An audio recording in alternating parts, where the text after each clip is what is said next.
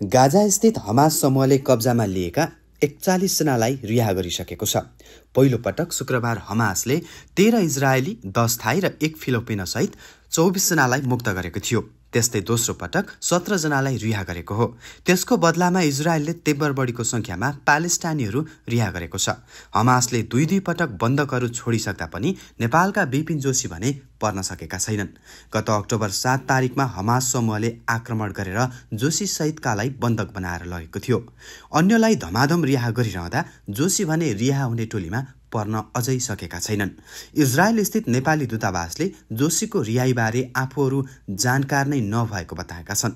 राजदूत कान्ता रिजालले जोशीको रिहाई कहिले हुन्छ भन्ने विषयमा आफूहरूलाई जानकारी नहुने बताइन्। उनले रातोपाटीसँग भनिन् कहिले रिहा हुन्छन् भन्ने बारे हामीलाई केही जानकारी हुँदैन। रिहा हुने भयो भने केही समय अगाडि मात्रै हामीलाई जानकारी गराइन्छ। जोशीको रिहाईका लागि नेपालले कुटनीतिक पहल जारी राखेको छ। दुई दिने नेपाल भ्रमणमा आएका कतारका विदेशी राज्यमन्त्रीसँग समेत नेपालले जोशीको रिहाईका लागि पहल गरिदिन अनुरोध गरेको थियो। त्यस्तै इजरायलसँग समेत नेपालले जोशीको रिहाईका लागि पहल गरिदिन अनुरोध गर्दै आएको छ तर पनि जोशी भने दुई पटकको रिहाईमा पर्न सकेका छैनन्। राजदूत रिजालले जोशीका रिहाईका लागि कुटनीतिक पहल जारी रहेको बताइन्।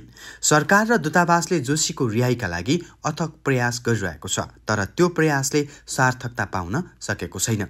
हमास समूहले अठार वर्ष मुनिका बालबालिका वृद्ध वृद्ध तथा महिलालाई रिहा गर्ने बताउँदै आएको छ। सोही कारणले उसले त्यही आधारमा रिहा गर्दै आएको छ।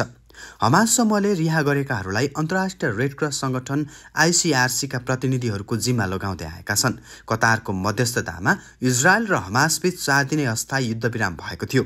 त्यो बीचमा बन्दी रिहा गर्ने सम्झौता भएको थियो। सोही अनुसार हमासले बन्धक बनाएकाहरूलाई रिहा गर्दै आएको छ। त्यसको बदलामा एकजनाको साटो इजरायलले तीनजना प्यालेस्टाइनीहरू रिहा गर्दै आएको अन्तर्राष्ट्रिय सञ्चार माध्यमहरूले जनाएका छन्।